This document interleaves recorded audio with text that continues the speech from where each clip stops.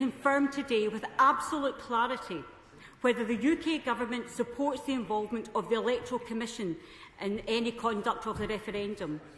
The Electoral Commission has overseen referendums in Wales and the rest of the United Kingdom this very year.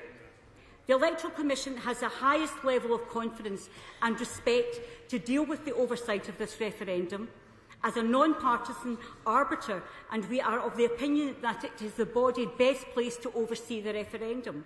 And I wonder if the Secretary of State shares that view.